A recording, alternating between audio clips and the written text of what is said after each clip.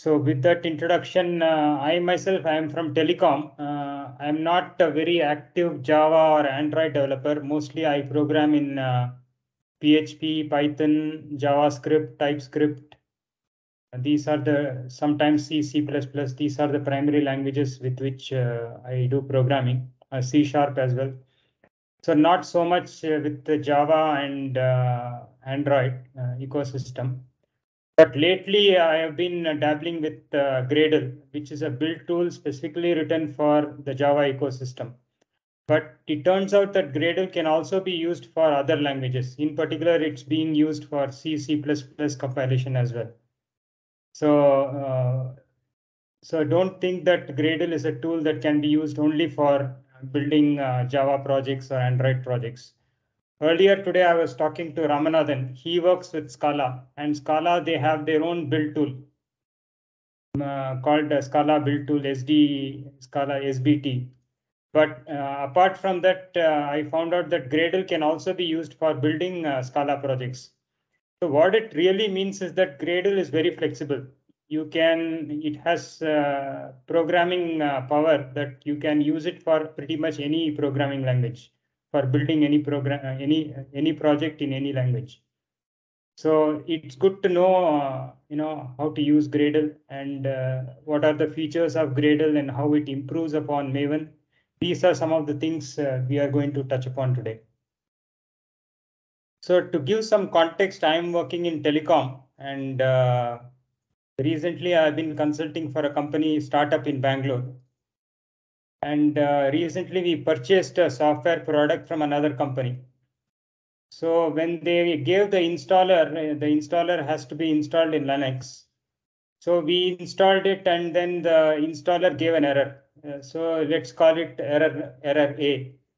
So we went back to them and told them, okay, this error is coming during installation. Can you fix it? So immediately they fixed it and then they gave a new installer. So now when we tried the installer, we got two other errors. The problem A was solved, but then now we had B and C. So we went back to them and said, okay, now we have these two problems during installation, B and C. So then they went back, fixed it, gave us a new installer. Now the B and C was fixed, but the problem A was coming back in a different way.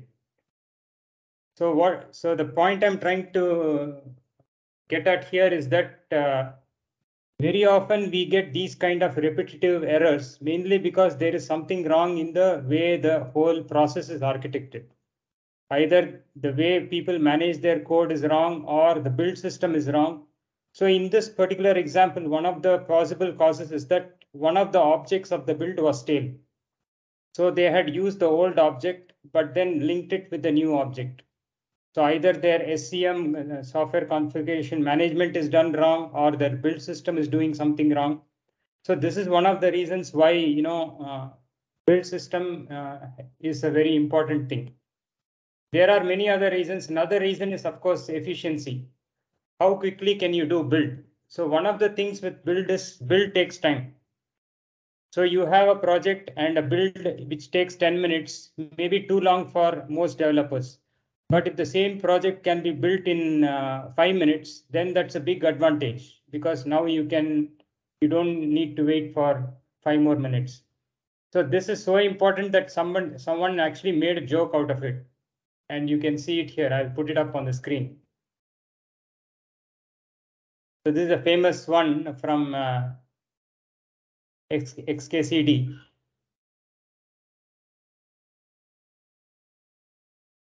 So uh, yeah, this has been uh, like this. So many other uh, things relevant to software has been going around.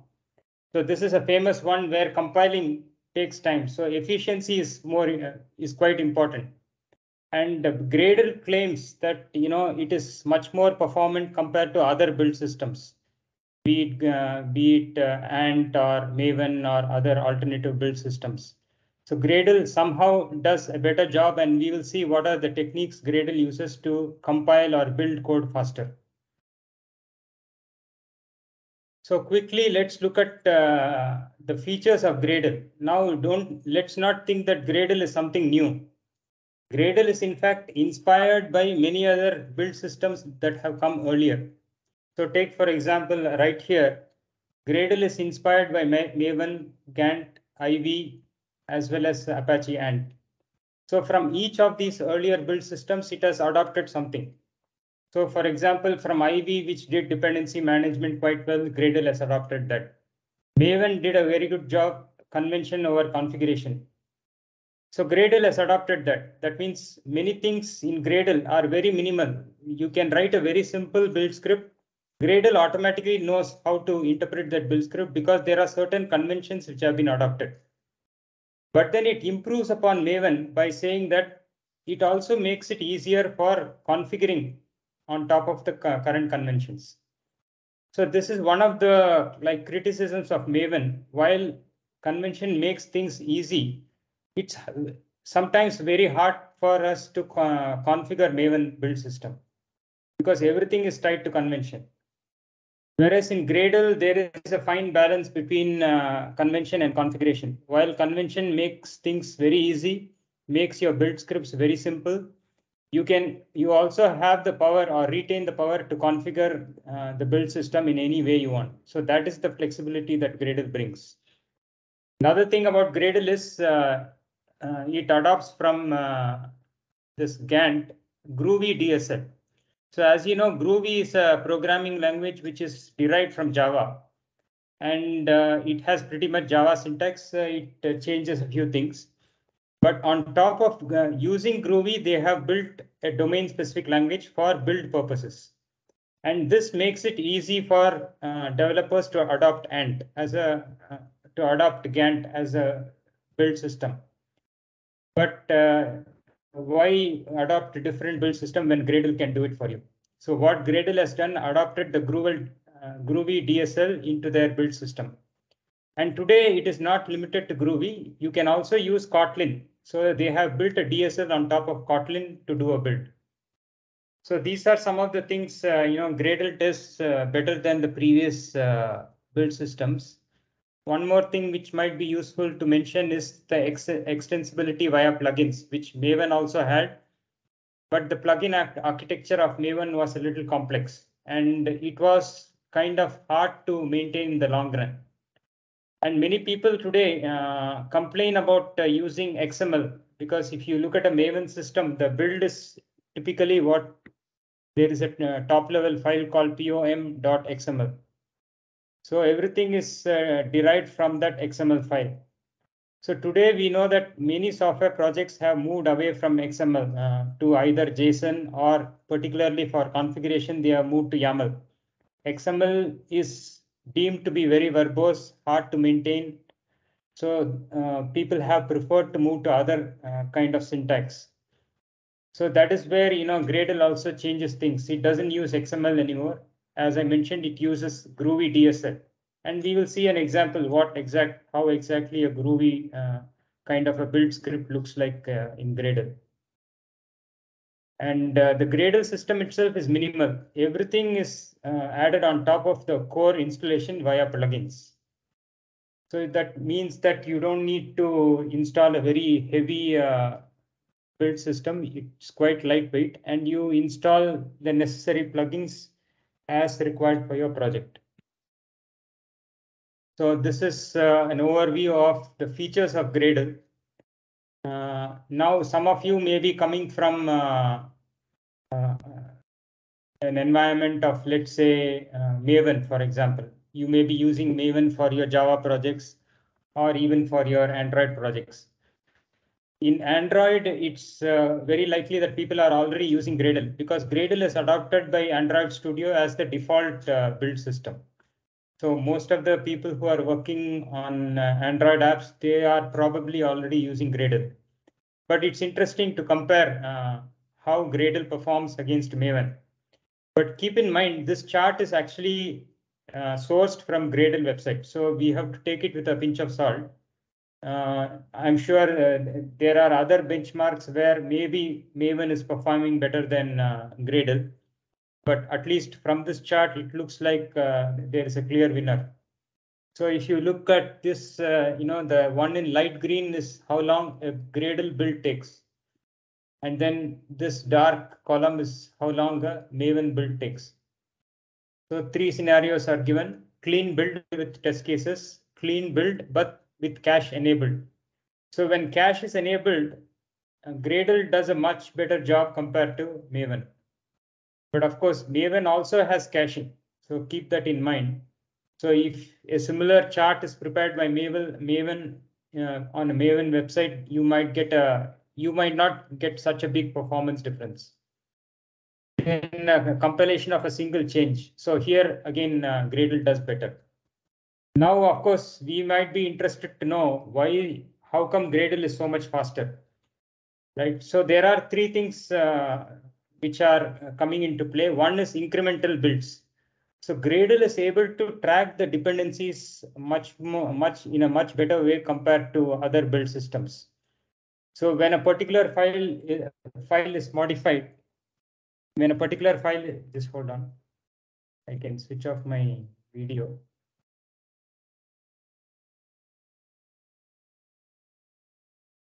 So when a particular file is modified, uh, for example, uh, it knows exactly what are the dependent uh, object files or jar files that need to be built. The other thing it does better is uh, caching of the builds. So of course, Maven also does it, but it's claimed that Gradle does it better. The most important difference uh, that Gradle has compared to other build systems is there is it's on a client server architecture. So there is a Gradle daemon always running in your system. That is first time you launch it, it will be uh, not there. So the first build will be a little slower, but subsequent builds will be faster because already a Gradle daemon has been launched and it will keep running in the background as a background process, basically listening for a new build execution. So that means that Gradle will save on the initialization phase. That is to say, it doesn't has to it doesn't have to spend time initializing the JVM or startup time of the JVM because Gradle fundamentally is a Java program. So it runs on the JVM uh, and uh, by having a daemon running, you save on the startup time of the JVM. Not only that, the daemon also caches information across builds. So the subsequent build, it is much faster. Then it has another feature called uh, file system watch, where when you are, let's say, updating a file, it proactively che checks which file has been updated and which targets have to be updated during the build. So it is already ready to do the build. It, it's just waiting for you to start the build. And be even so, meaning that even before you ask Gradle to do a build, it already knows what has to be built because it is actively watching the file system. And another feature of Gradle, which I found very useful, is something called a build scan. So with a build scan, what happens, I will show you in a demo. It actually collects a lot of information that, uh, during the build. And this information is then relayed to an analyzer. And on a browser, you can visualize how the actual build happened. What part of the build took a long time, where you can optimize. So you can potentially find problem areas and optimize your build uh, builds in the long run. So this is uh, something that's not so easily available in other build systems. So we'll take a look at a demo of this a little later. Now, before we go to the demo, uh, a short introduction to the history of Gradle. So it started somewhere around 2008. It was an open source pro project from the very beginning. But in 2010, it continued to be an open source project, but uh, there was a uh, there became a, a, company called Gradle Incorporated, which was behind the project. So now there is some seriousness to maintain the project and give it a commercial uh, offering, give it a commercial uh, flavor. Then, of course, the releases, uh, continuous releases are there. 2012 first release happened. That is like 10 years back. So Gradle is not something new. Uh, it's been there for 10 years. And uh, in 2015, it achieved 1 million downloads per month. Today, what, where are we? In 2022, it is getting something like 30 million downloads per month. So it is one of the popular open source projects out there. Not only that, I think here in 2010, it actually won an award called a Springy Award which is an award given, I believe, to open source projects. So uh, the architecture of Gradle is uh, quite interesting to read about. Then uh, there is something called Gradle Enterprise. Uh, so this is an on-premise version of Gradle Cloud Services. So we already saw one of those cloud services. So I talked about build scans. So that is one of the cloud services uh, given by Gradle. So Gradle has a big ecosystem behind it, unlike other uh, build systems. Then some more, uh, uh, you know, performance measures. Uh, Gradle itself, every release they try to improve the performance of Gradle. So you can see Gradle 2.14, it took two seconds. Now it takes like uh, 1.2 seconds for a certain, you know, Java project with uh, thousand modules. So with every release of Gradle, they are the team is also actively trying to make it faster. So with this introduction, let's take a have a, have a demo. But before the demo, any questions from anyone?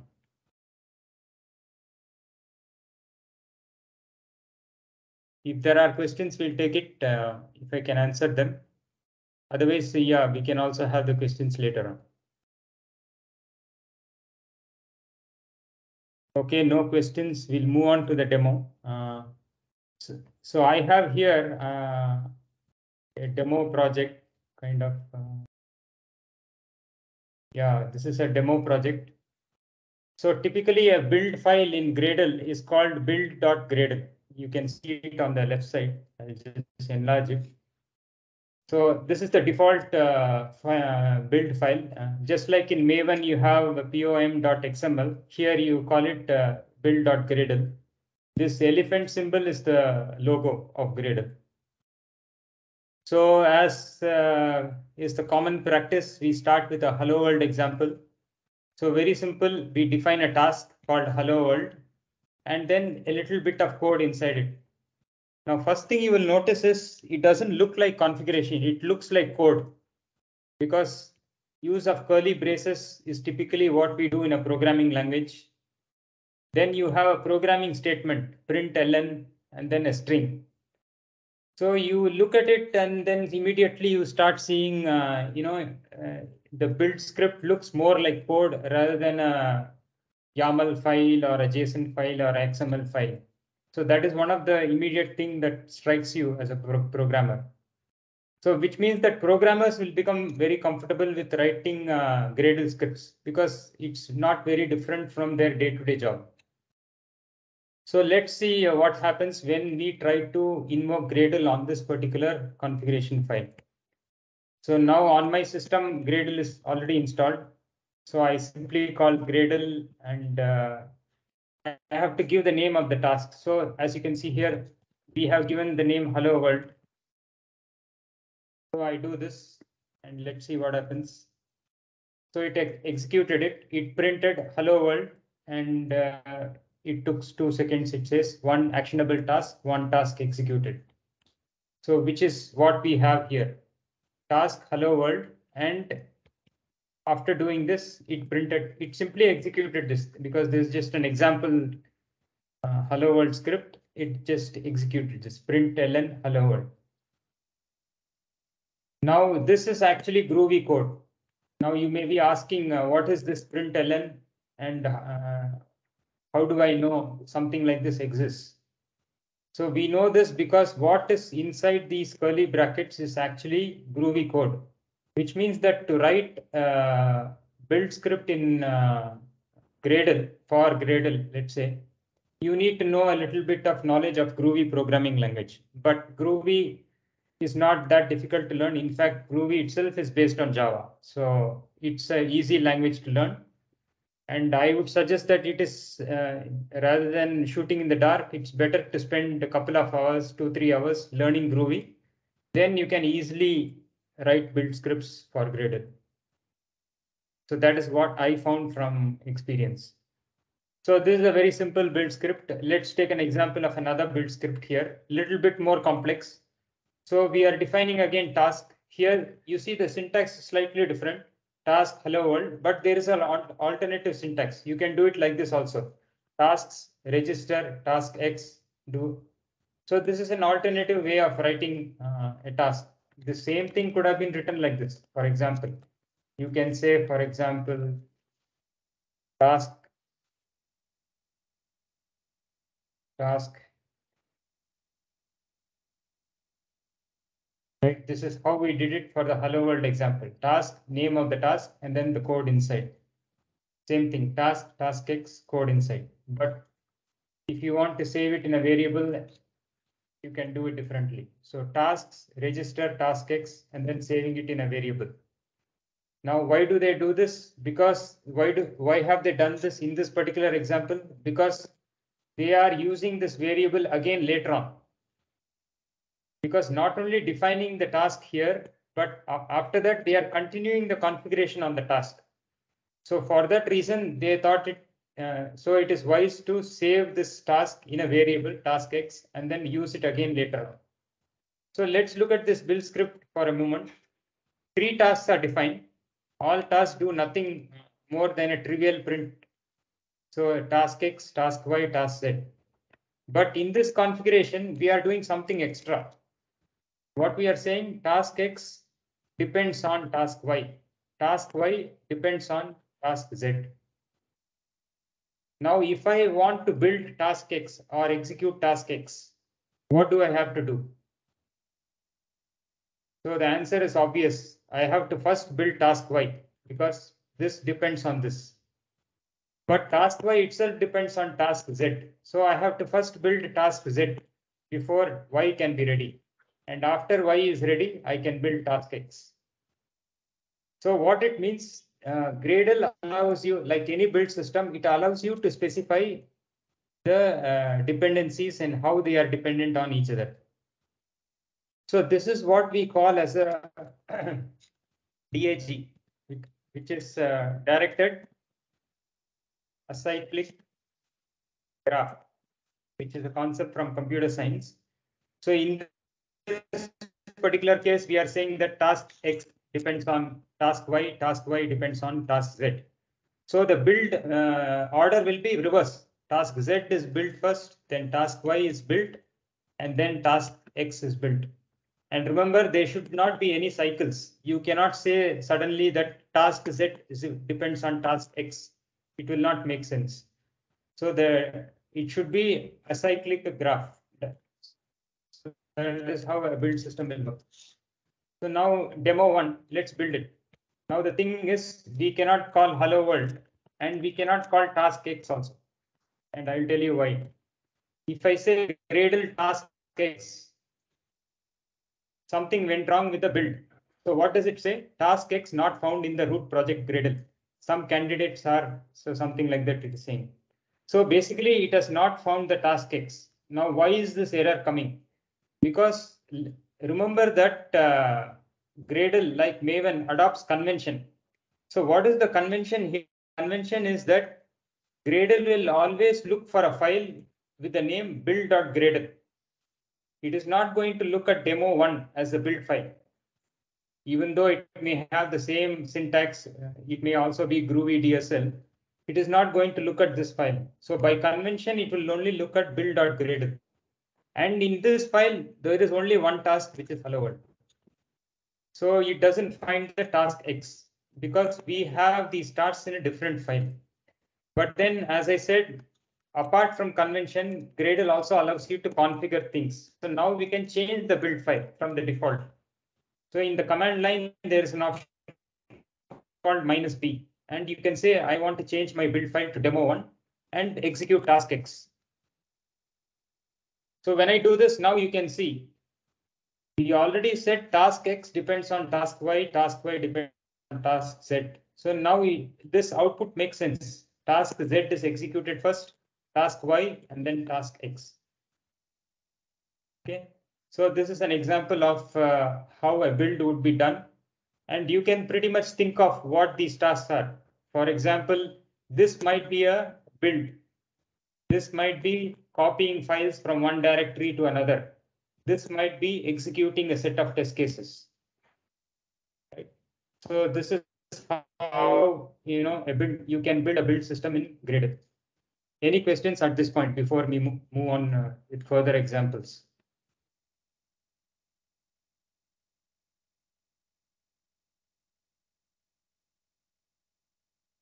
Oh, it's fine. Uh, thank you. Okay, okay. Thanks for that. Any anyone else? Any questions? So how many of you, just a show of hands, how many of you are already Java developers? Or you are using Maven? Okay, Tarun. Okay, few. Yeah, quite a number of you. Yeah. So, so some of the things will be familiar. So we will look at an example of uh, Maven as well little later. Now let's take a, a dummy project. Uh, I don't know if anything is there in this file. Let's just see this. Okay, we already have this build.gradle and demo. Okay, I want to show one more thing in the demo, demo file before I move to another example. Now we know that everything in Gradle is almost like a executable, uh, almost like code. So this do last implies that it is executed last, but you can also do things like do first and so on, right? So you can do that also. Let's say print ln, print ln x first. So then what I'm going to do, I'm going to print something outside, right? So start x, let's say. And then I'm going to print something at the end of the file, end of this task x. Print ln end x. Okay, so let's review this again. I am defining task X and I am saying inside task X two blocks of code.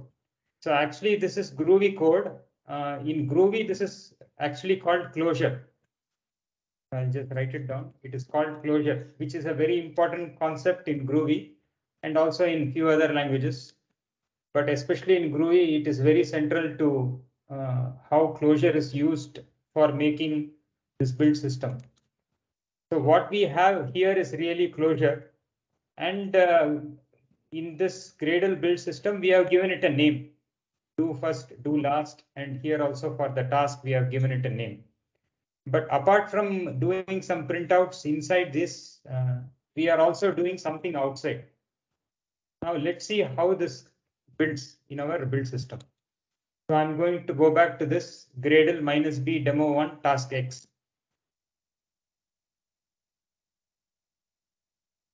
So what, what has happened? Same thing task Z, Y, and the task X. So the old order is still there, right? But there are some things which uh, are puzzling. Start X is printed first. So let's go back to the code. So we expected this because we are we're asking the system to build task X. So it prints this first.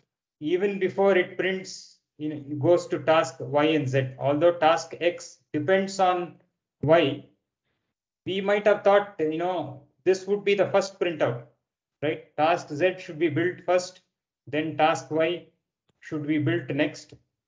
Then only we come to task X, and when task X executes, then these printout should come up.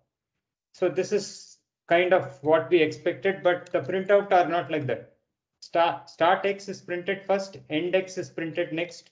That means these two are printed. Then it goes to Z and Y. Then it comes to X first, task X. Then it prints this. And then it prints this. Okay. Now to understand this, let's go back to our article here, which says exactly how a build occurs. So a Gradle build actually occurs in three phases. And this is very important to understand. The first phase is called initialization. Second phase is configuration and final phase is execution. So in initialization phase, it sets up the build environment. It looks at the projects which are out there and which projects need to be built. So that is the kind of thing it looks at in the initialization phase. Then in the configuration phase, it determines which are the tasks which need to be run. So for example, we asked Gradle to build task X. In this phase, it will determine I need to build not only task X, but task Y and task Z. So those things will be figured out by Gradle in this configuration phase. Then in the execution phase is where, where the actual uh, execution of the tasks take place. Now let's look at closely this initialization phase. This initialization phase runs first. And now it will make sense why these two are printed first because these two are part of the initialization phase. These are not executed during initialization. Right? So these two are part of initialization because they are outside these two code blocks. This is part of the task, no doubt. It is part of the task, but it's part of the initialization phase of the task. So that is why now our output makes sense. First we print start x, then we print end x. Then it goes to execute the other dependent tasks. So we have this as the printout, this as the next printout, then it goes to execute task X. During the execution phase, we say do first. So it will execute this first. Then it will do this last. Right? So within the task, you have a choice to break up the execution in distinct phases because you might want to do fancy things like parallelizing the build and stuff like that, which we will not cover today. But there is a reason why you want to break up your execution into different phases within the task. So these are again by convention, do first has a certain meaning, do last has a certain meaning. Now our output makes perfect sense. Why we get the output like this. Okay. So remember that a Gradle build always has three phases, initialization, configuration, and execution. Now, one best practice is you have to minimize how much code you put in outside. That means in the initialization phase, you have to minimize the amount of code. The reason for that is if you put too much code in the initialization phase, it will slow down your build. Because let's assume that nothing in task, uh, none of the dependencies for task has changed. So you don't actually need to do much for task X. That means the execution is very minimal. But because you have put a lot of code in the initialization part, your build will still take more time. So the best practice for uh, new developers is minimize the amount of initialization code you have in your task phase, in, in your task. So basically, we want to minimize the amount of initialization. If at all you want to initialize, you can put it inside here, for example, you inside. So the initialization is, I mean, this is during the execution. Let's say you want to initialize variables and stuff like that or copy files. You can do it in the do first, and then you begin your. So that, that will make a more optimized uh, build script. So there are, of course, many more best practices, which I'm not going to cover today, but this article here covers it in detail. Right. So what are the best practices for using Gradle. So a lot of details are covered here, and it also gives links how you can improve your build script. Okay. Now we'll quickly go to some uh, two more examples I want to cover. So first thing I want to do is get rid of these files here that we have. So Gradle, we'll delete this. We'll also delete build.gradle and then the demo one. So we have a clean project folder. VS code that is fine, that is IDE related. So let's go back here to our. Uh, so now if I do a Gradle uh, build, nothing will happen, obviously, uh, because there is nothing, right? If I do a Gradle build, see, there is no build script. So you can see here, a Gradle build should contain settings.gradle or settings.gradle.kts. This is Kotlin related file. It can, it may also contain build.gradle or build.gradle.kts. So build.gradle is Groovy DSL. But if you are uh, more familiar with Kotlin, then you may want to write your build script in Kotlin. So build.gradle.kts because now uh, you know Android developers uh, they can also use Kotlin as a programming language, so they may be more comfortable writing a build script in Kotlin. So this is a DSL based on Kotlin. So now, of course, our build here failed because we don't have anything. So we can do a Gradle init. So to start a simple project, Gradle provides templates. So you can do it, use them using Gradle init. So now we have a clean folder and it is asking what kind of project you want to build. So let's say two application. I want to build, let's say a Java application. So I say two. And then it will ask me what are what language you are programming for or programming in C++, Groovy, Java, Kotlin, Scala, Swift. So you can see most of them are two to five are like uh, a variant of Java really. But it also allows uh, build in C++ and Swift. So those people also can start using Gradle as their build system. In fact, I have seen that uh, Python projects can also use Gradle. So that is also an option. So now we'll say three, because uh, as an example, we'll take Java as the project. And then it says split functionality across multiple sub-projects. So this is one of the benefits of Gradle, because I have seen people complaining about Maven. Maven is not so good when you have to build multiple projects in the same build. It, the build is not, I mean, the configuration is not so flexible. Whereas this is one of the areas in which uh, Gradle handles things very nicely. In a single build, you can tackle multiple projects. So in our example, a single project is enough. So one. And what kind of DSL you want? So we are familiar with Groovy. I am familiar with Groovy. So we'll go with this. And then it asks generate using new APIs. We are not so interested. So go with this. And then what kind of test framework? So let's say for JUnit Jupiter. What name you want? This is the default name. This it picks up based on the name of the folder. So let's go with the default. And then source package, go with the default. So it has created something. So let's take a look what it has created. So you can see here, there is no build.gradle because we designed this as a Java application and the application code is inside here app and inside app source, we have main, which has the main Java code. Then the test cases are here. So there are in this in this example project, which Gradle init has created for us, there is one Java source code, which is the entry point for the application. Then there is one test case for that. Okay, so th this is all that we have in this project, two files. And now in this app folder, importantly, look, let's look at the build.gradle file. Now it's got a little bit more complex. Earlier, our file was very simple because we were doing simply hello world and we were doing sprint, nothing more than that. But now we are building a Java application. Now to build a Java application, there are some dependencies and plugins. So one of the plugins is this one. So remember, I told you that uh, uh, the default installation of Gradle is very minimal. So even to build a Java application, you have to install this as a plugin.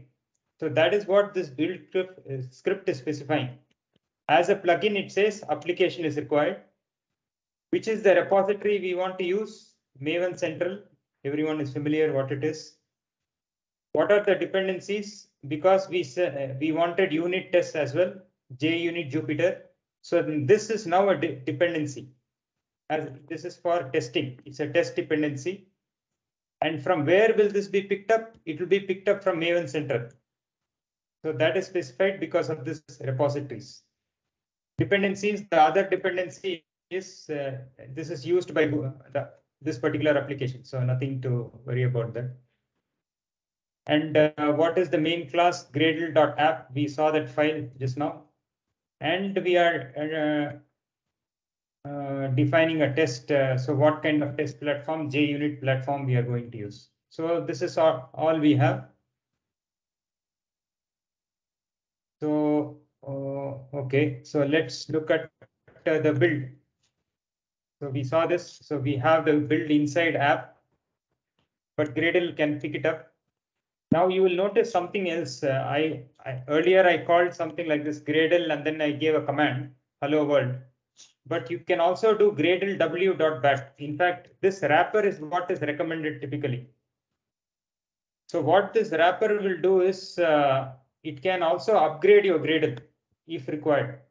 So, so this is the recommended way of running Gradle, but you can also execute it directly like this if you want. So this is Gradle W, so W for wrapper dot bat.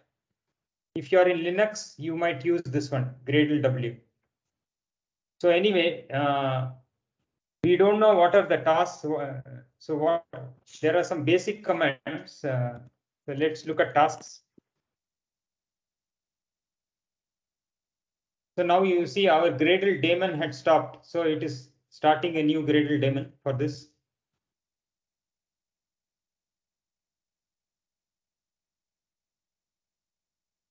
So these are all the different tasks which you can run with this current build file, right? So you can run this project, you can build the project, you can clean, assemble a jar.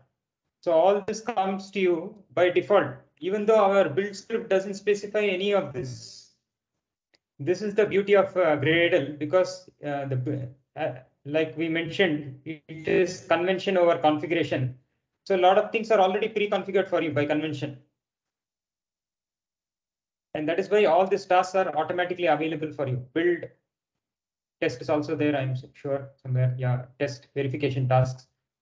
And then uh, tasks. So this is what we called just now, and we got a list of tasks. So this is uh, how it works. So now let's say I do a Gradle build. What it does, assembles and test this project. So it will not only build, but it will also run the test case. So let us do this build, see what happens.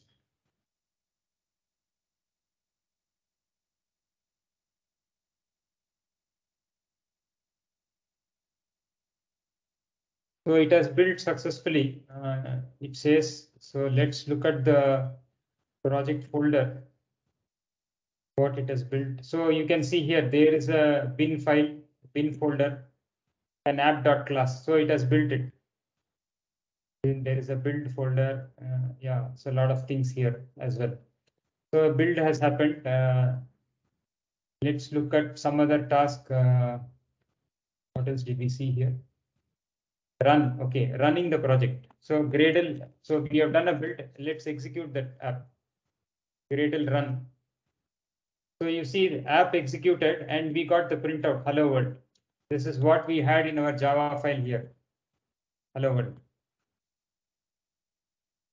Right. So we have been able to build this project. And in fact, we created the project simply by doing Gradle init. And then we gave the commands build the project. So we can see all the tasks by simply saying tasks. There are other useful commands. We can also see multi all the projects in this folder are addressed by this. So there is only one project, which is the, uh, there is a root project called Gradle, and under that there is a project called app. That is how we have structured our app here. Right, so root project and under that there is something called uh, this app as a dependent, uh, the actual project. You can also say dependencies. What are the dependencies that have been picked up by this Gradle script. Root project Gradle, no configuration. A web base, okay. What happened? Yeah, so dependencies, displays are dependent declared the root project Gradle. So this is the Gradle root project, but you can also see in the app project dependencies that I don't know how to configure that, but you can figure it out. So in the Gradle project, there are no dependencies, but uh, in app tasks, uh, yeah, running app. No, this works, try running app tasks.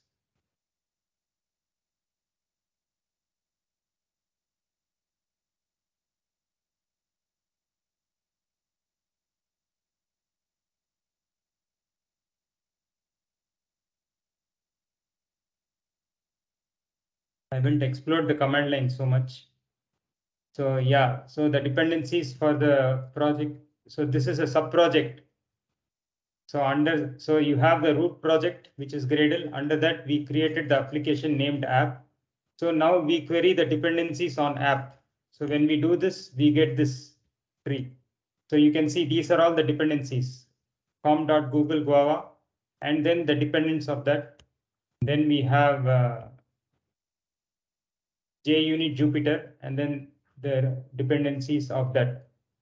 So this dependency tree uh, is, I mean, this this is also important uh, for resolving uh, the dependencies.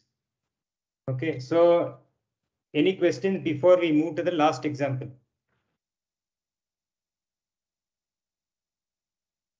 I have one more example based on Maven project, but before that, if you have any questions, we can take that.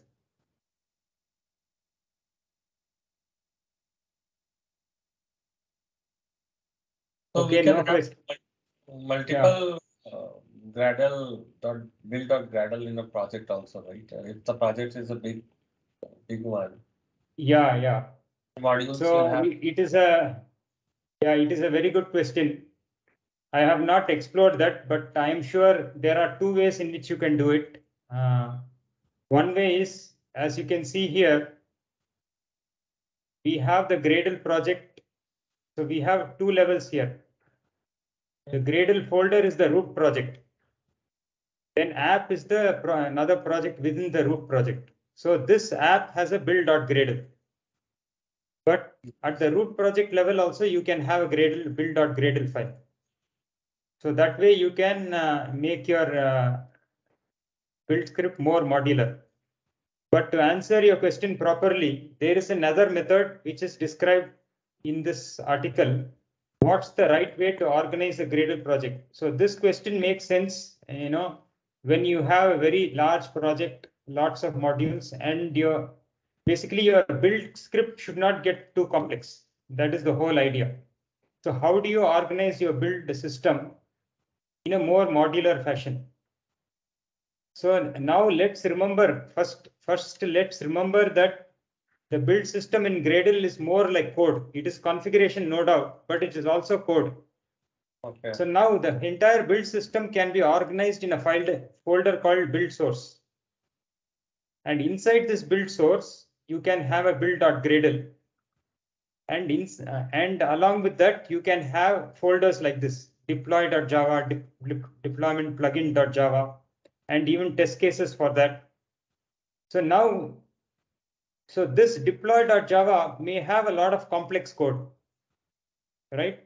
But this complex code, instead of putting all this logic in build.gradle, remember that this is not application code. This is code related to how to deploy your application into the cloud, let's say. Let's say this is about deploying your application into Azure or into a Kubernetes cluster. This is what this code is all about. So it is properly part of the build system. It is not your application code. So don't be confused about that.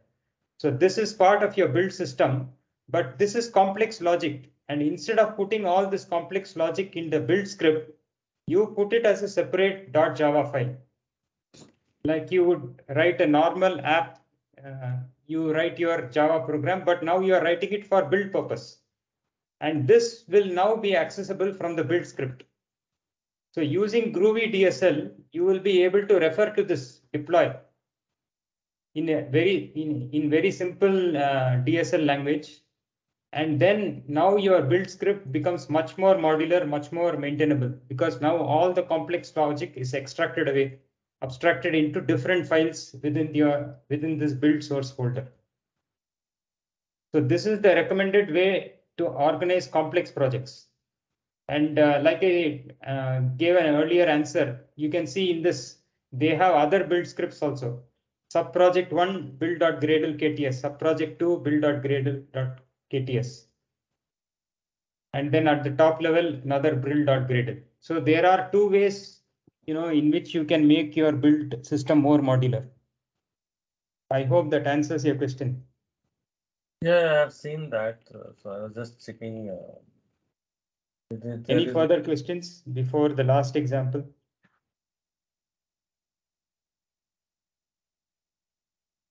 Okay, no questions. Good. Let's move on to the last example.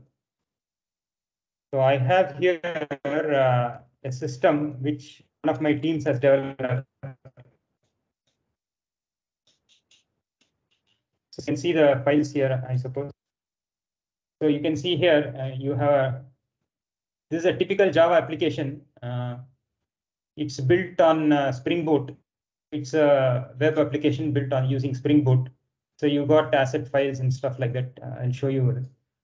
And uh, this is a um, using Maven build pom.xml, logo.png, and so on.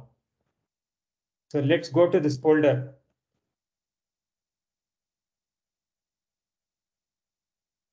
So now uh, let's assume, uh, so we want to migrate from Maven to Gradle. So that is the purpose here. So let's do gradle.init. Already we have Maven files here. So what Gradle does, it is smart enough to know that this system is now found a Maven build. So what it will do, it will try to automatically generate a Gradle build system from the pom.xml and other files of Maven. So default, yes. Select a build script DSL. So we'll go with Groovy as before. Generate build using new APIs. No, yes. So we'll go with no. Okay. So it is doing the init, migrating from Maven. So it's done. So now let's look at what are the files here. So you notice that it has created build.gradle. Then there is a .gradle directory also. Then these files have also have come into play. Gradle directory, Gradle w, w.bat. So all the things that we needed for Gradle are there. Settings.gradle is also there. So this is also important. So now let's look at uh, this particular build script. What I'll do, I'll close this folder. I'll open the other one. EMS.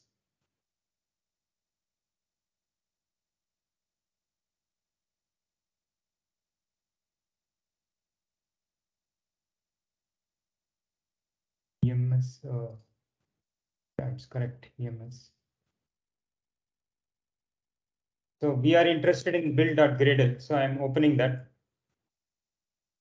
So this build file has been created for us automatically by looking. So what it has done, it has looked at the Maven and it has figured out what to put in this file.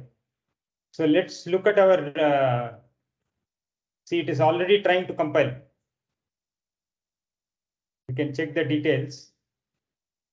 See, it is already trying to build this project using Gradle now, because now this integration is coming from where? This is coming from the ID VS Code. So VS Code has determined that this is now a Gradle project and it is trying to build this project. So anyway, let's look at the build.gradle. So plugins, Java. So because it's a Java project, this is required as a public plugin. Maven published because this involves publishing to the Maven repository as well. Which are the repositories? Two repositories, Maven local and Maven at this URL. So you may be wondering where is all this coming from? It's all coming from your original project, pom.xml. So here they must have specified some of these things. I didn't look at this closely, but uh, yeah, here some of these things must have been specified. So they must have picked it up from here. So then let's go back to our build.gradle. And here you can see all these dependencies are created, right? All these dependencies are in place, but it is all in XML. So it's a little hard to read. But then now if you look at our uh, Gradle file here, it's a lot easier on the eye. So the same dependencies are now migrated into a Gradle build script. So it looks at uh, the dependency and it also takes the version that is needed. Test requirements are captured here and a few other things which are taken from this pom.xml, Java version, publishing, where to publish, and so on. Task Java compile, task name test. Okay, so all these things are done, and now you can actually do a build. But then here already this guy is building. And another thing is I have installed the Gradle plugin for VS Code. So in the earlier days, uh, Gradle was not uh, having good integration with uh, IDs, very uh, sparse integration. But today that situation has changed. So Gradle has good integration with VS Code, Eclipse, uh, JetBrains IDs. So most of the popular IDs have good integration with the Gradle. So this itself is a plugin on VS Code. And if you click this, it will tell you, you know, whether a Gradle daemon is running or if it is not running, it will start a Gradle daemon. It will list all the tasks of Gradle and so on, pin tasks, recent tasks, and so on. So what we used to do on command line, now it becomes easier through this plugin via the IDE. So you can open this and see what are all the different tasks, build, documentation, help, other publication. The same thing you can do it from the command line by saying Gradle tasks, Gradle dependencies. But now things are made easier because Gradle integration is available with the IDE. And now you can build the system, you can do testing and so on.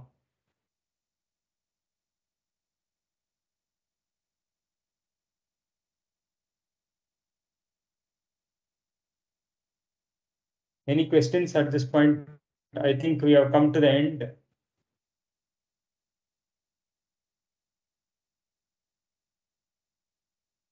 So this is the overview of Gradle. Uh, so whether it will work for your project, let's say you are already working on Java, you are using Maven as the build tool. So you'll have to figure it out whether it makes sense for you to migrate to uh, Gradle. So I believe that uh, if nothing else, I think your build time will come down. That I believe might be one of the advantages. One thing I didn't show you, uh, it is worth showing actually. Let's go to, yeah, I can use this also. Gradle build. Let's say I do a build here.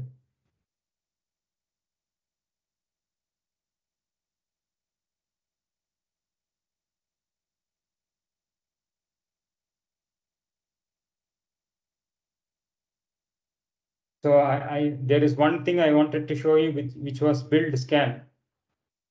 So let me terminate this and run it again. So I am passing an option called dash dash scan. So we're going to build it, but while building, we are going to do a scan. And that will give us some insights how great how the build system works. And in a complex build system, it can help you figure out where are the bottlenecks.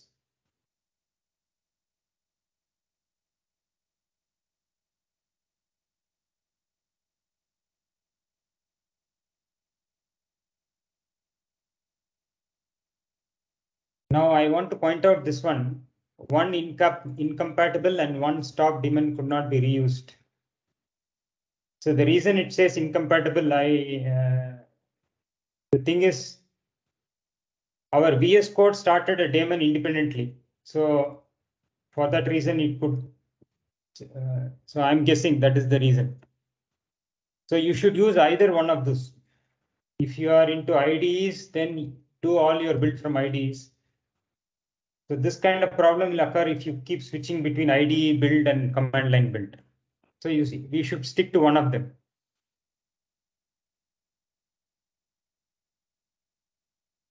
So it is building. It will take uh, maybe use few more seconds. Let's see. So the point is that this scan will give us some insights. Uh, meanwhile, any questions we can take while this is building.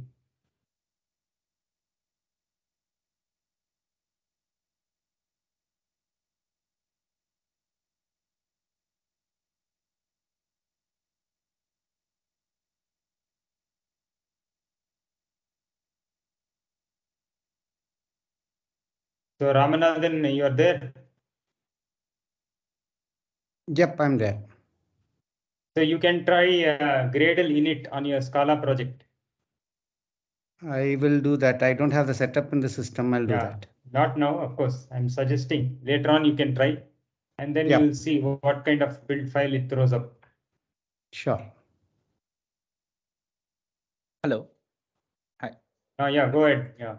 Hi, Edwin. Yeah, I have a couple of questions. Uh, one is uh, Gradle support only Java or any other language also supported? Few other languages we saw that. Uh, so uh, based on Java, there are other languages like Kotlin, Groovy, Scala. Those are also supported. Plus C++ and uh, Swift are also supported. Okay, like whatever are the uh, flavors of Java, right? So the, only those are supported, like JVM based uh, languages. No, no, no. I'm uh, C++ is also supported. Then uh, Swift is also supported. Okay, sure, got it. Yeah, yeah. And And, uh, uh, people have also used it for Python. Okay, Although if you do a Gradle init, it doesn't come in those options, but people have used it for Python also. okay. And uh, one more, uh, the dependencies uh, we mentioned in the Maven, right? XML. So Yeah. uh, like similar, uh, like exactly same repos it uses in the Gradle or it's a different repo uh, to pull the dependencies from the Same, source? same, yeah. I think it has just picked it up from there only. Okay, So in our build.gradle what uh, repo, it has taken this repo.maven apache. Maybe this is coming from the init because init has some logic in it. Mhm. So when it is converting from a Maven project to Gradle automatically it uses this. But let's look at the pom.xml, what it has in the here over here. Okay, yeah, yeah. So The here- reason why I'm asking is, uh, like, let's say I, I move from uh, Maven to Gradle, and if I see any uh, issues while building or in the code, right? So it could be because of dependencies. So that's where. Ah, I'm but all the dependencies that you see here, Yeah. they will be imported into the Gradle.build. Nothing will be left out as such. Okay, I can compare uh, uh, across and uh, verify it, right? Confirm it, right? Once it is ready. Well, the better system, better way would be to do a clean build uh, using Maven. And then Yeah. after migrating, you should achieve the same thing in uh, Gradle. Gradle, yeah. So then if, if that, if that works, then that, that would be it. Yeah. Thank you, thank you so much. I don't know, it was, uh. Yes, okay. Yeah, there's some network issue. It was, for some reason it was slow. So anyway, when you do a scan like this Gradle build scan, at the end of the scan, it will give you a URL like this. So what you do, you copy this URL, go to your browser. Paste it.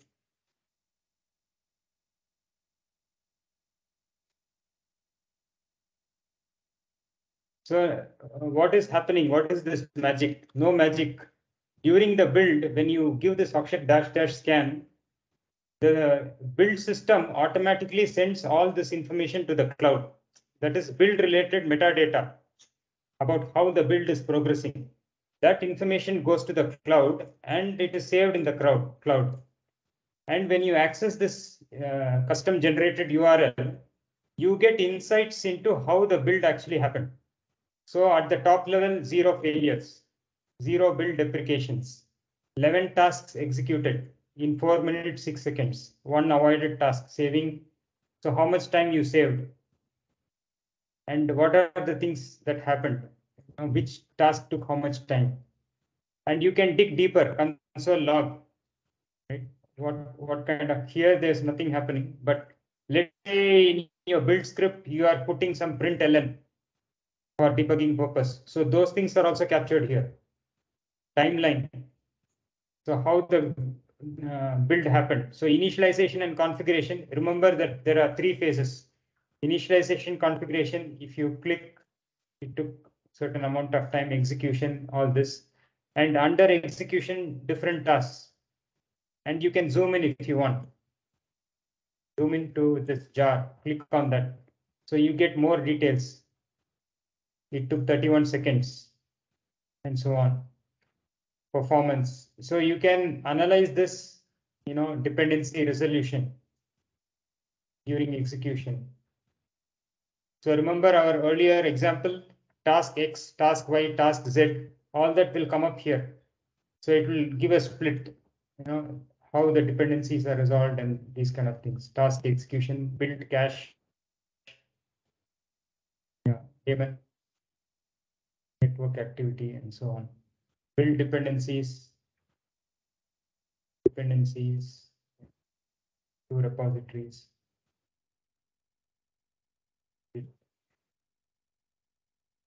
Okay, so remember we configured two repositories, Maven local and uh, Maven.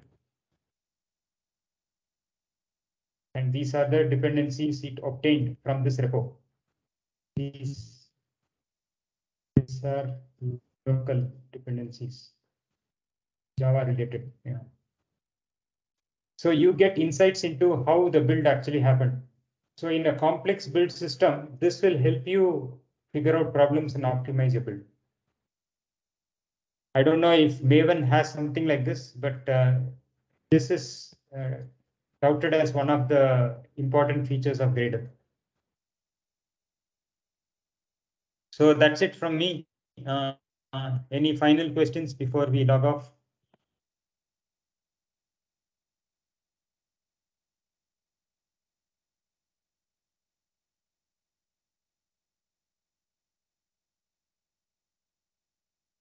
Okay, if there are no questions, uh, we'll take leave here. Uh, if you want more information, obviously you can go to our article on devopedia.org. There is an article titled Gradle. So here you can find more information.